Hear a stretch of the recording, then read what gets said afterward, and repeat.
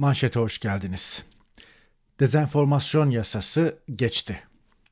Muhalefet sansür yasası dedi. Esasen bana göre sansür yasası da değil. Kalan son kırıntıları da temizleme, sosyal ağların dibine kibrit suyu dökme yasası bu. İktidarın kontrol edemediği, ele geçiremediği tek mecra sosyal ağlardı ve orada bir türlü üstünlük kuramadı. Trollerle denedi, satın alınmış hesaplarla denedi, e, binlerce insan istihdam etti, paralar akıttı, Twitter'ı, YouTube'u, Google'ı, neyse Facebook'u Türkiye'ye çağırdı, onlarla görüşerek iş tutmaya çalıştı. İşte bunlar rejim muhalifidir dedi, e, bunlar e, Türkiye aleyhine faaliyet gösteriyorlar, zararlı yayınlar dedi, ihbar etti, ele geçirmeye çalıştı, hesapları uçurmaya çalıştı, edemedi, hacklemeye çalıştı. Bir sürü ay yıldız başta bir sürü ekiplerle çalıştılar fakat olmadı. Yani 2008-2009'lu yıllardan itibaren sosyal ağlar konuşulmaya ve serpilmeye başladı. Özellikle Türkiye'de 2013 gezi eylemiyle son derece etkin bir şekilde devredeydi ve o güne kadar çok fazla esamesi okunmuyordu kabul edelim. Yani sosyal ağların, YouTube'un, Facebook'un, hele Twitter'ın. Çok fazla. Benim hesabım vardı ama 2009, 10, 11 yıllarında doğru dürüst paylaşım yaptığımı hatırlamıyorum. Tek tük, program tanıtımı vesaire. Ama 2013 gezi eylemiyle beraber Twitter ülke gündemine girdi. Ve Twitter'da hiçbir zaman AKP ülkede tek başına iktidar olsa dahi hiçbir zaman ilk 3 parti arasına giremedi. Ve orayı kontrol altına alamadı. O gün bugündür de zaten içinde ukde kapattı da zaten biliyorsunuz. Özellikle hemen 2013-17 Aralık'tan sonra kapatmayı denedi yani. Fakat gelen tepkilerle ve o günkü e, konjonktürün etkisiyle Cumhurbaşkanı Abdullah Gül vesaire e, insanlar VPN filan bir, yolunu buldular ve e, işte bariyerleri yıkıp yasağı delip geçtiler filan olmadı. Esersen elinden gelse hepsini kapatacak. Yerli bir yerli milli bir ağ da kuramadılar. E böyle bir yetenekleri yok, kapasiteleri yok, böyle bir beyin yok.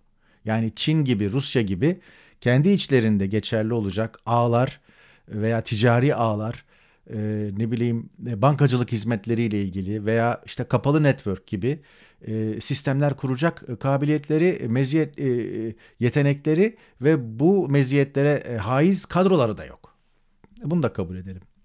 Şimdi bunu bunun için hayırlı olsun diyemeyeceğim elbette ama e, tabuta son çivi demiştim geçen hafta bir yayında. Açıkçası e, o tabut yıllardır delik deşik. Yani bizim medyamız susturuldu 7 sene oluyor. 7 sene önce bu ay Ekim 2015'te İpek Medya'ya kayyım atandı. Medyaya atanan, atanan ilk kayyımdı. Kayyım aracılığıyla medyaya ilk çökme vakasıydı. Seyrettiler. Bugün ekranlarda gevrek gevrek konuşan insanların kurumları, CNN Türk mesela polis tesislere girdi diye altyazı yazdı. Polis bizim kurumumuzu, bizim binamızı, Mecidiyeköy Ortaklar Caddesi'ndeki binamızı basarken böyle altyazı geçtiler. Bir kelime edemediler, bir tweet atamadılar. İçten içe de mutlulardı belki de. Böyle olsun istiyorlardı. Sussun bunlar, temizlensin. Medya mahallesinde bunları istemiyoruz falan. Biz bize yeteriz. Biz bunların hakkından geliriz falan diye düşünüyorlardı. Öyle olmadığı görüldü. Yedi senede yüzlerce medyaya çöküldü. Yüzlerce gazeteci içeri atıldı. Hala içeride onlarca gazeteci var.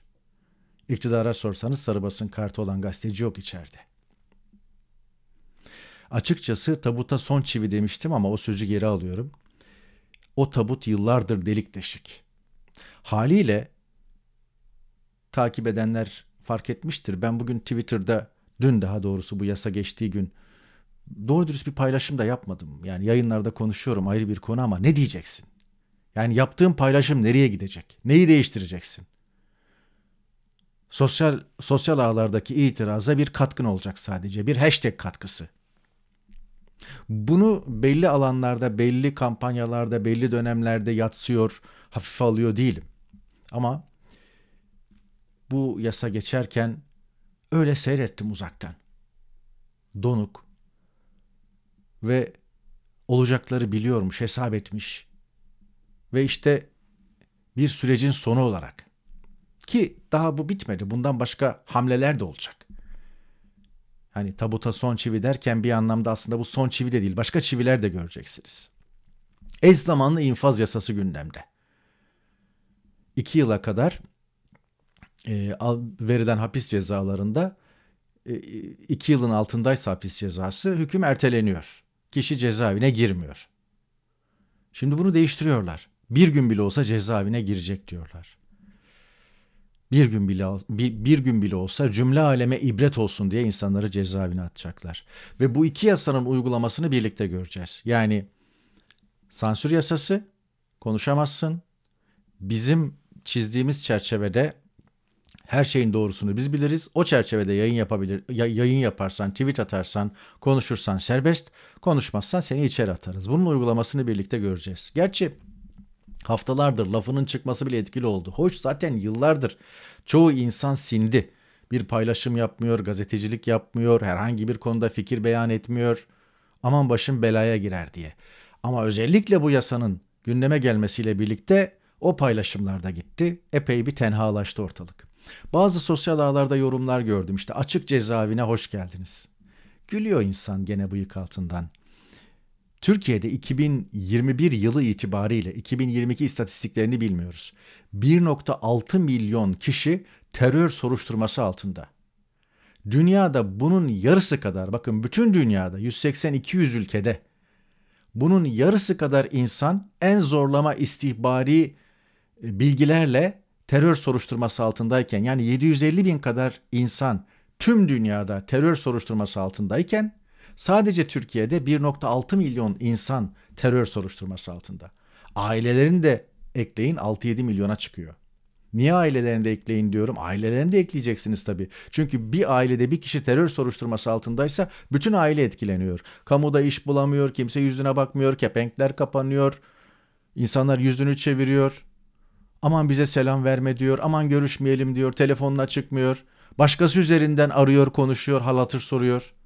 Doğrudan aramaya bile cesaret edemiyor insanlar başıma bir şey gelir diye.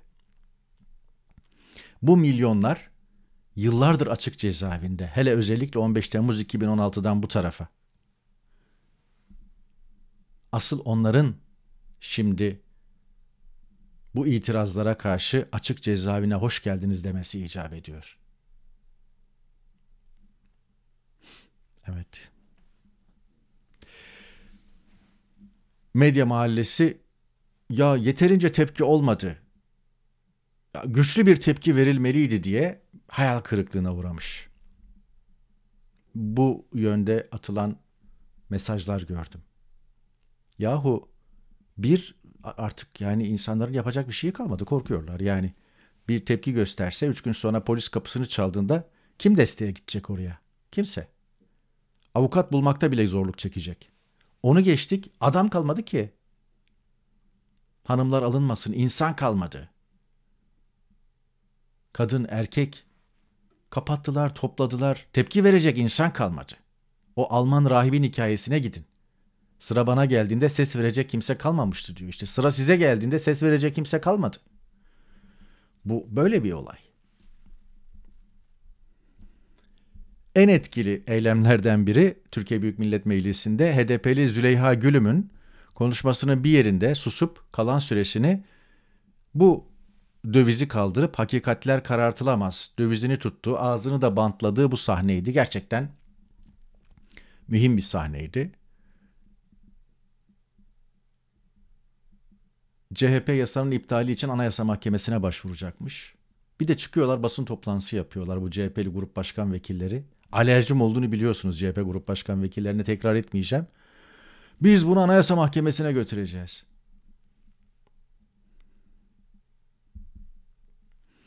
Bir diğer ses getiren eylem CHP'li Burak Erbay'ın e, meclis kürsüsünde çekişle telefonunu kırarak protesto etmesiydi. Ben bu Burak Erbay ismini de ilk defa duyuyorum. Ya dört buçuk senedir neredeydin be adam? dört buçuk sene sonra artık e, kanına dokundu herhalde. Çıktı böyle bir eylemle ses getirdi. Kendi 15 dakikasını yaşadı ayrı bir konu. Etkili bir eylem bir şey demiyorum ama nerede yani bu CHP'li milletvekilleri nerede? Ya CHP'den hani 5 milletvekili say deseler sayarım da 10 milletvekili say deseler sayamam yani. Bilmiyoruz ki isimlerini. Yoklar ortada yani. Gazeteci kökenli olanlar da yoklar. Bir ikisi hariç. Tabii şu anda milletvekillerinde önümüzdeki seçimde aday olma telaşı var. Aman dokunulmazlık zırhına girelim, aman konforumuz bozulmasın. AKP'liler de böyle poz vermişler. yasadan sonra. Yani her yasada yapmıyorlar bunu. Yani şu olaya bakar mısınız? Yani bir sansür yasasında böyle çıkmışlar gururla poz veriyorlar. Yaklaşalım. Bakın burada Şirin Ünal var. 15 Temmuz'un gizli kahramanlarından, kara kutularından. Evet. Yakından bakalım. Bakın bu Fethi Yıldız yasanın mimarı MHP'li. Belki de MHP'den tek isim. Alaaddin Çakıcı'yı, Alaaddin Çakıcı'nın avukatı Alaaddin Çakıcı'yı içeriden çıkaran, onun için af yasası çıkartan isim. Birazdan tweetini de göstereceğim size. AKP'liler böyle e, hatıra fotoğrafı çektirirken yasa çıktıktan sonra işte e, Fethi Yıldız'ın tweet'i dezenformasyon yasasının 29. maddesi kabul edildi. Yalancının mumu 17.30'da söndürüldü. Böyle bir adam işte. AKP'liler böyle bir fotoğraf çektirirken lafım yarım kaldı. CHP'liler de böyle bir hatıra, hatıra fotoğrafı çektirmişler de ya ne, ne demeye böyle bir hatıra fotoğrafı çektiriyorsunuz? Neyin fotoğrafı bu? Yani gerçekten şaşırdım. Anlam vermekte güçlük çektim yani. Enteresan. 29. madde geçtikten sonra AKP sıraları böyle boşalmış. Kürsüde konuşan bir milletvekili var ama dinleyen yok. İşte aslında parlamentoda neyin nasıl yapılması gerektiğini onlar gösteriyor. Bak bir tane AKP'li vekil yok AKP sıralarında. Ve muhalefet kendi çalıp kendi oynuyor. İşte muhalefet de iktidarı bu duruma düşürecekti. Dilimizde tüy bitti ama Erdoğan geldiğinde bile ayağa kalktılar, alkışladılar. Pardon, alkışlamadılar ama ayağa kalktılar. İşte tartışmalı yani 40 madde var. Ama en tartışmalı madde ve en e, korkutucu madde bu. 29. madde. Halkı yanıltıcı bilgiyi alenen yayma. Bir yıldan üç yıla kadar hapis cezası. Evet. Serhat Uçak paylaşmış. İletişim Başkanlığı'nın artık her hafta yayınlayacağı dezenformasyon bülteninde bir de bu logo var. Altına bizim söylediklerimizi yaymazsan hapse girersin. Yazmayı unutmuşlar. Gerçek ötesi çağa hoş geldiniz diyor. Bu bir yalan haberdir. Hakikati paylaş. Bir de böyle parmak. 1984 George Orwell gerçek oldu yani. Bir, yani bir kere daha teyit edildi. Geçelim bir diğer önemli gündem maddesi Sedat Peker cephesinden haber var. Ee, Dubai'den Seyhan Avşar paylaşmış Halk TV'de. Sedat Peker'in yakınlarıyla görüşmüş belli ki ve e, ciddi bir e, tarassut altında olduğunu söylüyor Peker'in. E, ev hapsi yok hukuken ama sokağa çıkması yasak, evden çıkması yasak. Ev, evden dışarı çıktığında da diyor Dubai'nin tahsis ettiği yani Birleşik Arap Emirlikleri'nin tahsis ettiği 150 korumayla çıkmak durumunda kalıyor. O da bir azap. E, işkence haline gelmiş ve Birleşik Arap Emirlikleri'nin son dönemde Türkiye ile ilişkilerini güçlendirmesi de Peker'de kaygıya yol açmış. Ee, Erk Acerer paylaştı. Bir tweet atarsan ya da bir like yaparsan yani beğeni yaparsan seni uçağa koyar göndeririz demişler Dubai'li yetkililer. Pasaport olmadığı için resmi sığınma talebinde de bulunamıyormuş. Kendi canından endişesi yok ama ailesi için kaygılıymış. O arada yine beklenti o ki seçime iki ay kala o bahsettiği, vaat ettiği videoları yayımlayacak. Nasıl olacak bilmiyorum. O konuda e, çok umutlu olmamak gerektiğini de önceki yayınlarda ifade etmiştim. Tekrar etmeyeceğim. Cemal Engin Yurt şu anda eski MHP'li bu. E, Demokrat Parti'ye geçti. Demokrat Parti Ordu Milletvekili. Sedat Peker'le görüşmek için Dubai'ye gitmeye kalkmış. İki görevli arkadaşımla beraber biletlerimizi aldık ancak güvenlik gerekçesiyle görüştürülemeyeceğimizi öğrendim. Bu yüzden gitmekten vazgeçtik diyor. Biletini de paylaşmış. 14'ünde gidecekmiş, 16'sında dönecekmiş. Burada var bileti. Enteresan. Bir şeylerin değiştiği apaçık ortada diyor. Sedat Peker ülkemizin vatandaşı. Herkes işte onun paylaşımlarını bekliyor, sözlerine inanıyor. Muhalefet partileri olarak bu durumu görmezden gelemeyiz filan filan. Ee, neden Sedat Peker'le görüşmeye gidecekti? Murat neydi? Ve neden engellendi bilmiyoruz ama belli ki Türkiye'den bir milletvekili sıfatı taşıyan biri Dubai'ye gidip Peker'i göremiyor. Dubai'ye gidebilirdi belki ama Peker'le görüşemeyeceğini öğrenince vazgeçmiş. Dubai'ye gel ama dolaşır dönersin demişler. Bu da enteresan. Bu esasen adı konulmamış bir e, cez, e, şey hali. Mahkumiyet hali Sedat Peker için. Tam anlamıyla e, kuşatılmış durumda. Bir tür oda hapsinde dijital tecritte devam ediyor. İşte bu koşullarda nasıl seçime iki ay kala videolar yayınlanacak ben de gerçekten tereddüt ediyorum. Geçelim. E, bir önceki yayında bahsetmiştim. Putin Erdoğan'a adeta bir hayat öpücüğü verdi ve e, dedi ki Türkiye üzerinden biz dünyaya gaz satabiliriz. Özellikle Avrupa'ya gaz satabiliriz.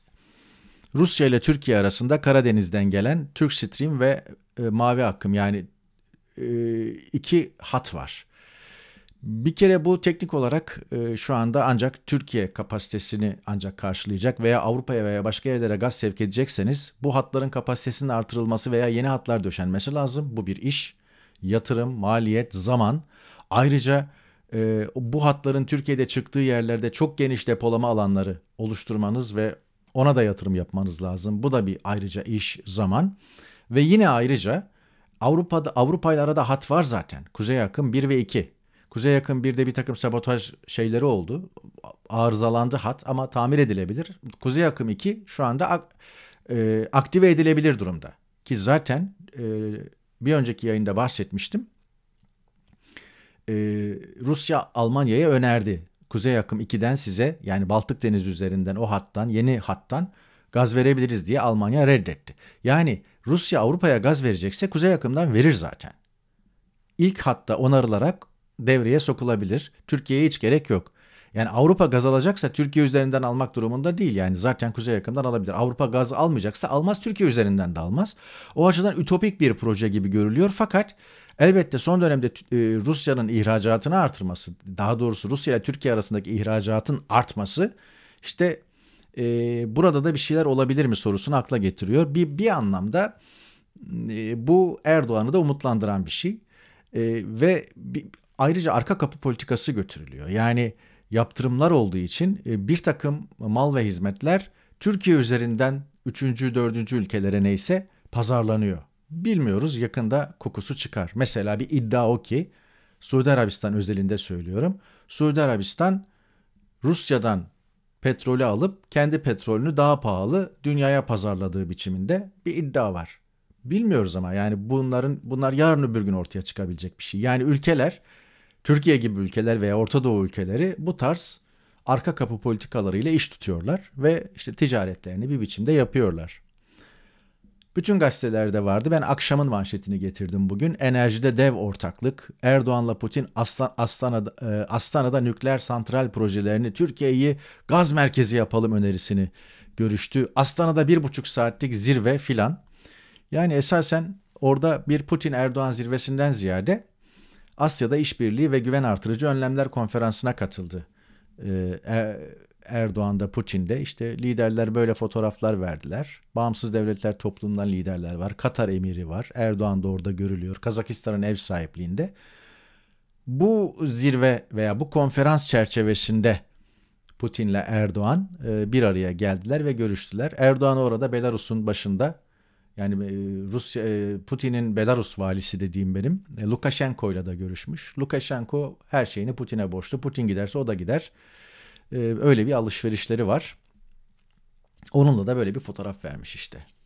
Hani soldaki kesin %100 diktatör ama sağdaki de 2023'ten sonraki diktatör adayı öyle söyleyelim yani. İşte böyle fotoğraflar verilmiş. Biz e, Sadede gelelim. Kerim Has ee, hem yaptığı yayınlarda hem de paylaştığı notlarda enteresan bilgiler verdi. Ee, üç grafik halinde bunları getireceğim. Ee, Kerim Has'ın e, verdiği bilgiler önemli. Moskova diyor seçimler öncesi Erdoğan'ın iç ve dış siyasette popülaritesini artırma amaçlı siyasi bir jest yaptı diyor. Özellikle işte Türkiye gaz konusunda hub olsun, terminal olsun önerisiyle. Değilse diyor e, Avrupa'ya gaz, Türkiye üzerinden gaz ihracatı, gaz sevkiyatı bir hayal. Bu diyor çok feasible değil şu anda. Zaten Avrupa reddediyor. E, fakat bu hayal gerçekleşirse, bu ütopik hedef gerçekleşirse Almanya'nın yerini Türkiye alabilir. Önemli bir not bu.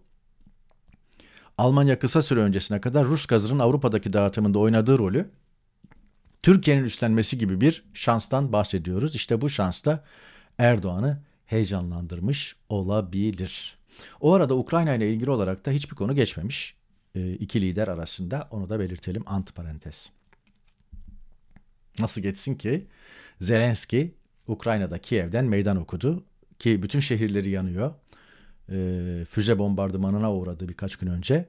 Putin'le diplomasi yürüten liderler yalnız bırakılmalı diyor. Burada kastet isim vermemiş ama bunlardan biri de Tayyip Erdoğan. Avrupa Konseyi Parlamenterler Meclisi'ne hitabı, hitabında böyle söylemiş. Ve artık Putin'e yönelik iddialarını bir adım öteye götürdü ve savaş suçu olarak değerlendiriyor ve artık Putin'le kesinlikle masaya oturmayacağını, Rusya'da Putin'den sonraki yönetimle masaya oturacağını söylemişti Zelenski önceki açıklamalarında. Şimdi de son açıklamasında Putin'le diplomasinin de kesilmesini istiyor ve onunla diplomasi yürüten liderler de yalnız bırakılmalı diyor. Biden enteresan bir şekilde Putin'e hiç renk vermezken Putin'le görüşmek için e, bir neden yok, bir sebep görmediğini söylemiş. Nükleer silah kullanacağını düşünmediğini söylemiş ama G20 zirvesinde önümüzdeki ay yanılmıyorsam G20 zirvesi gerçekleşecek ve Putin de bir G20 üyesi. Bakalım Putin gidecek mi, Joe Biden gidecek mi ve orada en azından bir araya gelecekler mi? Bakalım iş nereye gidecek?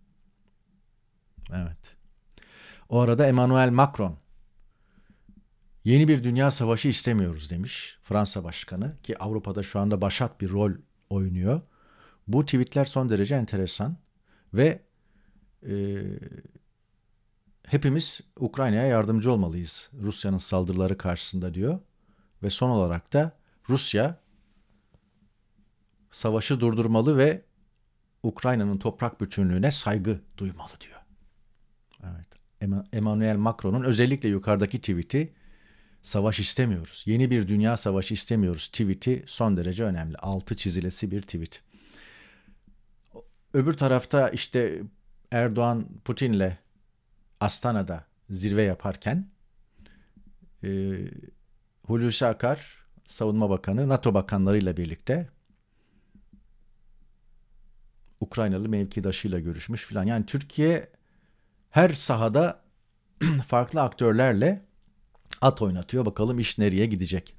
Dönelim ilişkilere F-16 morali. E, bu Hürriyet'in manşetiydi. ABD Türkiye ile ilişkilerinde nihayet pozitif bir adım attı. F-16 satış için şartları kaldıran senato kararı uçak alımının önüne açtı. Bu doğru. Çünkü Türkiye'nin son dönemde bölgesinde oynadığı rol, Ukrayna Savaşı'ndaki kilit pozisyonu Amerika'da, kongrede inadı kırdı. Yani F-16 için gerçekten şu anda sarı ışık yandı. Bu yeşile de dönebilir ilerleyen zaman içerisinde. Ve fakat Ömer Murat önemli bir konuya dikkat çekmiş. Amerika diyor F-16'ya izin verse bile Türkiye'ye satışına izin verse bile 10 yıl sonra Yunanistan F-35'leri teslim alırken Türkiye F-16'ları alıyor olacak. Yağız attan indirilince boz eşeğe razı olmak hezimettir, zafer değil demiş. Üstteki F-16, alttaki F-35. Yani o da hemen değil bugünden yarına. Bunlar bir süreç işi. Zaten onayı da ayrı bir süreç işi. Evet. Kılıçdaroğlu'na geçelim. Ee, Kılıçdaroğlu'nun Amerika'da 8 saat kaybolması aslında 8 saat kaybolmamış. Ee, Washington'dan New York'a karayoluyla geçmiş. Orada da bir sürü sıkıntılar var. Hatta orada New York'ta işte daha önce mevzu ettiği Erdoğan'ın aile vakfının işte e, bir yolsuzluktan koparılmış işte milyon dolarlarla diktiği gökdelenin önünde. Yani yani şeyin yani görüntü, çekim, ses, bir mikrofon kullanımı yani gerçekten e, bir parti liderine yakışır bir basın PR'ı ve iletişim kanalları olması gerekir. E, siz iki arkadaş yoldan geçerken bir şey çekseniz buna dikkat edersiniz yani. Söz konusu Kemal Kılıçdaroğlu olunca bu konuda bir prodüksiyon olması lazım arkada. Hiçbir şey göremiyorsunuz. O açıdan da tuhaftı. Her neyse Ömer Murat diyor ki Washington New York arası karayoluyla yaklaşık 5 saat. yol Pensilvanya'dan değil Philadelphia'dan geçer. Şimdi arada Pensilvanya eyaleti olduğu için işte bunun Gülen'le görüşme veya Gülen'e yakın isimlerle görüşme falan gibi çokça e, bu konu e, dallandırıldı, budaklandırıldı. Fakat şunu söyleyeyim. Sen orada git programını hiç kimseyle paylaşma. E, gazetecileri sokma. Sadece kendi götürdüğün gazetecilerle kapalı toplantılar yap falan filan. Bu kadar da titizlen bilmem ne. Aman işte üzerimize şey sıçramasın falan diye. Şaibe sıçramasın diye. Sonra geliyor seni gene bir şey buluyor. E, Pensilvanya veya Pensilvanya'dan birileriyle görüşme meselesi buluyor. Yani bir şekilde buluyor. Yani sen ne kadar kaçarsan kaç. Değdi mi peki? Hiçbir şeye değmedi yani. Ben e, onlarca yorum dinledim, okudum, takip ettim. Bir tane bile Kılıçdaroğlu'nun temasları ve Amerika gezisine ilişkin olarak hani sadre şifa böyle altı çizilecek ya iyi de oldu falan diyene rastlamadım yani. Oradakiler dahil. Bağımsız gözlemcilerden bahsediyorum. O arada Mahmut Övür sabah gazetesinde dün e, Kılıçdaroğlu'nu Şerif Ali Tekalan'la görüştürmüş Amerika'da. Şerif Ali Tekalan'ı işte Gülen'e yakın bir isim olarak falan anlatıyor. Mahmut Öz, e, Övür kocaman da bir yazı döşenmiş. Tabii bu iddialar böyle ortada kalıyor. Cevap hakkı falan da kullandırılmıyor. Şerif Ali Tekalan nadir e, tweet atıyor Twitter hesabında. Bunu yalanlıyor. Böyle bir şey olmadı. Lanetliyorum hukuk önünde hakkımı arayacağımı kamuoyuna bildiriyorum demiş. Ama yani ağızlarını doldura doldura iddialar, e, haberler döşeniyorlar. Fakat siz bir cevap veriyorsunuz. Doğru olsun olmasın, gerçek olsun olmasın bir cevap hakkı çerçevesinde değerlendirilmesi gereken ama kör sağır. Bu haberi yapanlar da bu haberi kullananlar da maalesef. Ekonomiyle devam edelim. Batık kredi kartı sayısı ikiye katlanmış. Yılın ilk 8 ayında 1 milyon 91 bin kişi bireysel kredi ve kredi kartı borcundan dolayı yasal takipte. Geçmiş olsun. O arada Metin Külünk 1947 yıllara kadar götürmüş e, Türkiye'deki doların yüksekliğinin, dolar fırtınasının nedenlerini. Salih Uzun onun üzerine şunu yazmış. Bir, bugünkü başarısızlığı örtmek için paranın icadına kadar gitseydiniz 1947 az olmuş. 2. Dolar bozdurmaya siz önden buyurun. 3. Parti MKYK toplantınızda söyleyin de devlet Amerikan dolarıyla ihale vermesin. Ne diyeceksin ancak böyle. Analiz gazetesinden bir haber. Vize ambargosuna ikinci bordo, ikinci bordo pasaport. Gri pasaport olanlar bordo pasaport veya bordo pasaport olanlar ikinci bir bordo pasaport alabiliyormuş filan. Niye? İşte biriyle Batı ülkelerine, biriyle de Doğu ülkelerine veya Orta Doğu ülkelerine gidebilmek için. Çünkü diyelim ki e, Yunanistan, İsrail gibi böyle bazı netameli ülkeler var. O ülkeler farklı vize damgalarını gördüklerinde pasaportunuzda size vize vermiyorlar veya ülkeye sokmuyorlar bu amaçla. Bir anlamda e, Türkiye'deki özellikle iş dünyası çifte pasaportlu oldu ama ikisi de Türkiye Cumhuriyeti pasaportu. Yavaş yavaş bitirirken avukat Vural Ergül'ün paylaşımı dikkatimi çekti. Bir kadın yanında iki poşet içinde işte biber, domates gibi işte sebzeler var. Az önce çektim bu fotoğrafı Allah da biliyor ya hiç üzülmedim ilkin. Aksine müstahak dedim. Hoş sonra böyle düşündüğüm için kendime kızmadım değil hani lakin yapacak ne var ki? Çöpten yiyecek karıştıran bir vatandaş. Evet. Sözcünün e, bugünkü birinci sayfasından Sözcü muhabirinin evi basılmış. Hiç detayına girmeyeceğim. Koçbaşıyla evin e, kapısını kırmışlar falan haberde bu eleştiriliyor. Yıllardır binlerce insanın evinin kapısı koçbaşıyla kırıldı. Ve o evlerde bir çakı bile bulunmadı. Sizin muhabirinizin başına gelince böyle haber yapıyorsunuz. Onları görmediniz bile hatta o operasyonları dev puntolarla haberleştirdiniz. Terör hücreleri, terör inleri vesaire girildi diye bilmem ne. Operasyon diye verdiniz. Bu da size müstahak diyeceğim ama demiyorum. Vural Ergül öyle dedi ya diyecektim ama demiyorum. O arada PKK'lı e, Volkan Bora ile fotoğraflarının çıkması üzerine dokunulmazlığı kaldırılıp tutuklanan HDP Diyarbakır Milletvekili Semra Güzel'in milletvekilliğinin düşürülmesi için süreç başlatılmış. Neden? Oturumlara katılmadığı için. Yahu kadın cezaevinde. Cezaevindeki biri oturumlara katılabilir mi? Ama işte maksat bir şey bulalım, bir yol bulalım. O arada kimlerin kimlerle fotoğrafı var? Kimlerin kimlerle fotoğrafı var?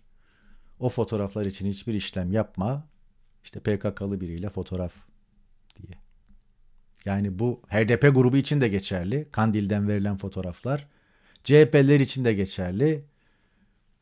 Doğu Perinçek için de geçerli. AKP unsurları için de geçerli. Ama kime ne anlatıyorsun? Tabuta son çivi diye başladık ve böylelikle bitirdik. Son günlerde çok fazla siyaset konuşmuyoruz. Çok fazla siyasete sıra gelmiyor. Ancak özellikle Kemal Kılıçdaroğlu'nun belki de Amerika'da olmasının etkisiyle altılı masa ve onun etrafında ne tartışma dönüyor? Onunla ilgili çok da fazla bir kulis olmadı. Görünen şu, altılı masa onaylarsa Kılıçdaroğlu ortak aday. Meral Akşener'in istemediği birinin aday olması ise olanaksız. Bu durumda Mansur Yavaş eleniyor ki Meral Akşener'e yakın çevreler Akşener'in Mansur Yavaş'a kesin kes karşı olduğunu söylüyorlar. O arada Ankara'da Mansur Yavaş büyükelçileri e, büyükelçilere bir davet vermiş. İşte 70 küsür ülkenin büyükelçisi veya işte ilgili delegasyona oraya ilgi göstermiş. O açıdan Mansur Yavaş'a ilgi büyüktü deniyor. Bilmiyorum iş nereye gider.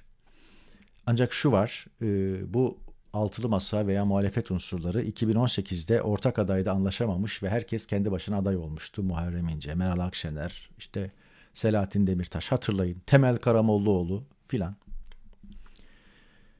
Şimdi böyle bir riske girerlerse ve başarısız olurlarsa e, bunu topluma anlatamazlar. Onun için bir ortak adayla anlaşmak zorundalar. Bunun farkındalar.